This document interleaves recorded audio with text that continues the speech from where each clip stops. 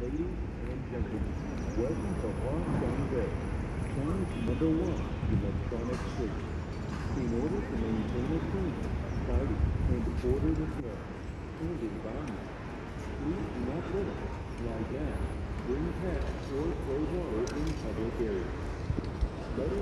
Okej, det uh, Jensen Joaquin Joaquin Road.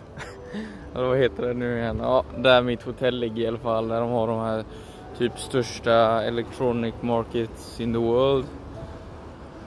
Eh, så nu går jag här, klockan är halv tio och är helt slut och har typ sovit tre timmar ikväll. Alltså så jävla typiskt. Går och lägger mig klockan nio för att jag var trött och kände liksom, ja fan vad gött, då kan jag vakna upp vid sju, åtta och göra tjänsten hela dagen. Nej men istället vad gör man? ja, men man somnar direkt, drömmer mycket och så vaknar man upp och så bara. Ja fan vad gött, har jag sovit hela kvällen nu? Nej, då har man sovit två timmar, då är klockan elva. Och sen helt omöjligt att somna om liksom. Jag låg uppe hela natten men det, nej, det gick fan inte. Uh, så jag vet inte, jag får gå och käka lite nu och så får jag förmodligen gå tillbaka och försöka ta en nap. Det är ju helt värdelöst. Jag har inte kunnat anpassa mig till Asien den här gången.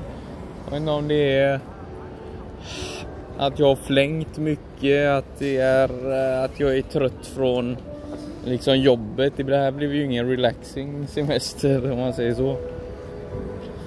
Så det är nog flera faktorer men det är ju jävligt tråkigt när man eh, Jag menar jag är helt slut för det som jag har blivit överkörd av en buss nu. Så jag får helt enkelt käka något, gå tillbaka och vila och försöka få en två timmar powernap.